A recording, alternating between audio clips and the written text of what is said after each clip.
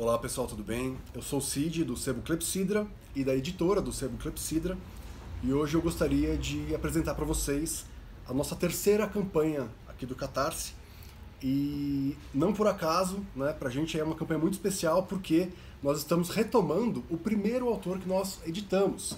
Estou falando do Lord Byron, né, cujo Manfredo foi o nosso primeiro livro. Né? Nós inauguramos o nosso catálogo com esse poema dramático, que foi lançado em 1816, e agora nós queremos apresentar para vocês o plano de nós lançarmos o Caim, que é um outro poema dramático dele, né? chama-se Caim, um Mistério, que retoma a história bíblica né? de Adão, Eva, Caim, Abel, e ele conta um pouco a iniciação de Caim por Lúcifer, que vai levar ele pelas esferas para conhecer é, outros mundos, para conhecer o mundo da morte e vai debater com ele sobre a crueldade de Deus antes de a gente né, ver o desfecho que nós já conhecemos qual é, né? A gente sabe o que acontece com Abel, né? Mas isso tudo na imaginação do maior poeta do romantismo inglês e um dos maiores poetas do mundo, dos mais populares do mundo, até hoje, inclusive. No Brasil, Lord Byron foi muito importante, especialmente no meio do século XIX, não é à toa que a nossa segunda geração romântica é chamada de byroniana. E nós estamos lançando este livro com ilustrações da época, com o prefácio do Byron e com um prefácio da tradução brasileira, que foi publicada em 1889.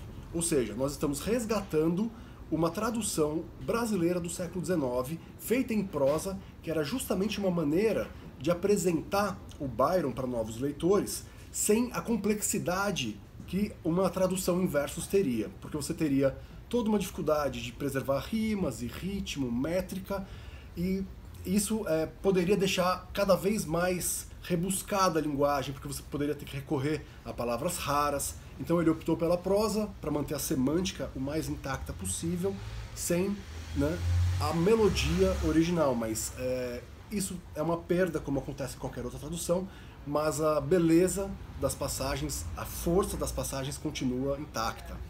É, esse é o nosso terceiro é, trabalho que a gente apresenta aqui no Catarse. O primeiro foi este aqui, o Aparicionista, do Friedrich Schiller, capa dura também, como vai ser o Caim. Tem 180 páginas, o Caim vai ter 164. Né? O segundo foi aqui, A Vida e os Amores de Edgar Allan Poe, também veio em capa dura, ou seja, é, se vocês já conhecem o trabalho que nós oferecemos aqui, espere um trabalho à altura, ele também vai ter um design muito elaborado.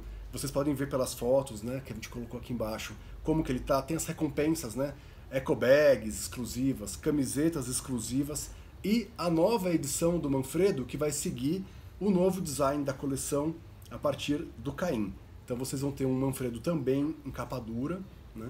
E espero que vocês consigam é, pegar um tempinho para dar uma lida aqui no projeto, conhecer um pouquinho do Lord Byron, um pouquinho do Caim e um pouquinho do tradutor também, né, que é, fez não só esses dois é, dramas do, do Byron, mas também fez um terceiro, que é o Céu e Terra, que nós pretendemos lançar também, e as melodias hebraicas. Então esperem todos esses materiais aqui em breve também, tá bom? Se vocês puderem, então, dar uma conferida, se possível, compartilhar, nós agradecemos demais, seu apoio é muito importante. E em breve nós teremos um evento para lançar tudo isso, tá bom? Então fica aqui é, a dica para vocês darem uma conferidinha nesse material e agradeço qualquer apoio, tá bom? Um grande abraço até a próxima.